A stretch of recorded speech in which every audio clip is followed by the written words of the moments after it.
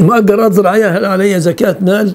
لا ليست عليك زكاة مال إلا إذا اجتمع معك من الإيجار مبلغ بلغ النصاب ومرت عليه سنة